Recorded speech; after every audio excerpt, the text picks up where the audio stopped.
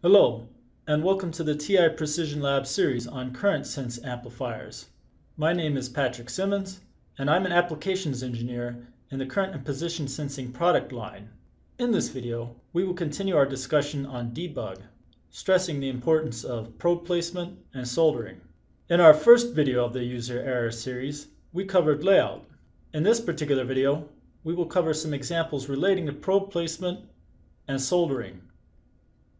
To illustrate the impact of probe placement, let's look at the following example here. In this scenario, we have a 10 amp load passing through a 10 milliohm shunt. Measuring across the shunt indicates we have 100 millivolts, as we expect. Yet, when we probe at our microcontroller input test point, which is shorted to Vout with the 0 ohm resistor, we get roughly 0 volts. Our initial reaction is, Ugh. Our part is broken. However, is this a valid assumption? Technically, we are not probing directly at the device output pin, which is one of the necessary steps for verifying our device is broken. Turns out the output voltage at our pin is 2 volts, as it should be. Closer inspection of our board reveals that R5 is not properly soldered to the board. It should be noted that this was not immediately apparent from an aerial view. Now let's consider a different case involving the INA240 with a 20 volt per volt gain. In this instance, we are trying to measure a 50 amp load. Based upon our calculations, we expect the output to be 1 volt.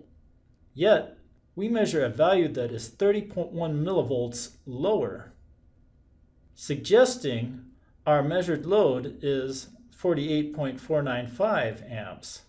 The schematic looks fine, and our layout indicates symmetric Kelvin connections to the shunt.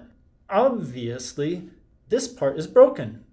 Or is it? We decide to do some further probing and discover that right at the device input pins, we measure a different differential voltage. It turns out that the differential between N plus and N minus is 48.445 millivolts, a little lower than our ideal 50 millivolts. We now have determined the source of our IR to be the filter.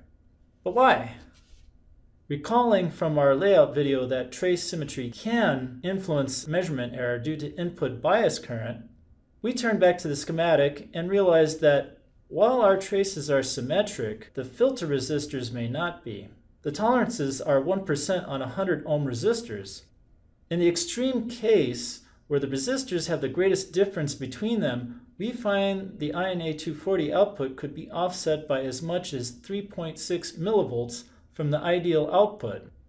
While for precision measurements this is significant, it is still almost 10 times smaller than the error we are observing. So, what else could be our issue?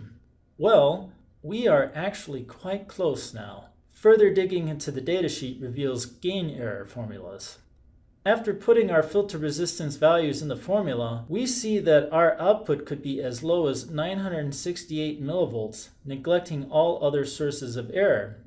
It is because of this gain error issue we typically recommend all filter resistors be no greater than 10 ohms for most of our devices.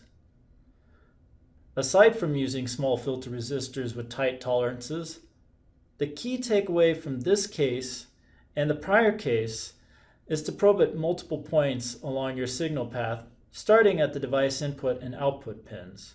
By doing so, you will be able to determine if the signal is reaching the device and thereby discern if the device is indeed broken, or you may be able to discover some solder issues. With regards to solder issues, here is a non-exhaustive list of solder issues along with some of their symptoms. One case where these issues may arise is when you use a reflow oven and the silkscreen is not flush with your pads. As for avoiding various leakage issues, be sure to use appropriate cleaning solution for the solder and flux used on your boards. In summary, you may need to probe at multiple points along the signal path to find the source of error. From the start, you should probe directly at the device pins to validate the assumption that the device is broken. Inconspicuous solder flaws can open or short signal paths, thereby leading to what appear to be device failures. Additionally, as current shunt monitors have input bias currents, and due to their sense inputs not being buffered, resistances between the shunt and input pins will influence the offset and gain error of the device. That concludes this video. Thank you for watching. Please try the quiz to check your understanding of the content.